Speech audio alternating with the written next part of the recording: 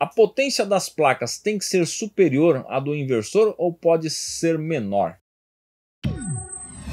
Olha, depende. Aqui você está comentando, você falou inversor, né? Você disse inversor assim no, na, na forma genérica, né? Então a gente não sabe se é inversor híbrido, se é inversor on-grid, se é inversor off-grid. Mas vamos falar aqui de inversor convencional off-grid.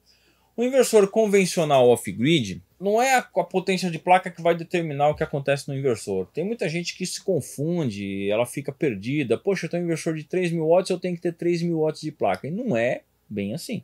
É claro, se você quiser utilizar 3.000 watts do inversor de maneira constante, você vai ter que ter no mínimo 3.000 watts de placa, mas tem que ter bem mais. Tá? Mas indo direto aqui a sua dúvida aqui. O que faz com que uma placa ou a quantidade de placas tenha que ser superior? É a quantidade de baterias que você tem e se você vai utilizar ao mesmo tempo que carrega. E geralmente, sim, a, a quantidade de placas vai ser bem superior à potência do teu inversor. Por exemplo, eu tenho um inversor aqui de 3.000 watts off-grid sem ser híbrido da Panda Energia Solar. Geralmente eu utilizo em média de 1.500 a 2.000 uh, nos picos, mas a média fica uh, média de uso constante em média de 300 watts. Mas picos chega aí até 2.000 watts, dependendo do que eu ligo ali, air fry, essas coisas tudo junto ali, secador de cabelo e tal. Esse inversor, eu tinha um conjunto de placas aqui que dava mais ou menos, se eu não me engano, quase 4.000 watts de placa ligado no inversor, mas não é ligado direto no inversor, e sim no sistema que o inversor está pendurado, ligado no meu controlador de carga. Porque eu precisava ter, precisava não, preciso ter energia suficiente para manter minhas baterias carregadas durante o dia e ainda utilizar as cargas que eu utilizo durante o dia. Então é isso que determina se você vai ter uma quantidade a mais de placa ou não. Então, assim, não necessariamente tem que ser superior.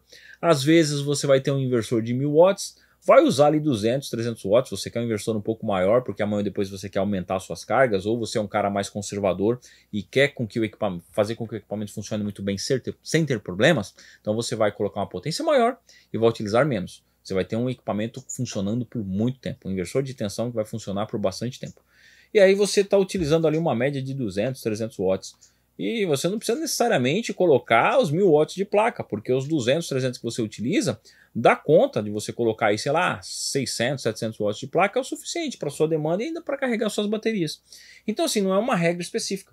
Tem que ser igual, tem que ser maior ou tem que ser menor ou dar algum problema. Então você precisa entender bem do assunto, fazer todo o cálculo, todo o projeto para você saber exatamente como que tudo funciona e aí vai ficar tudo muito mais claro para você, beleza?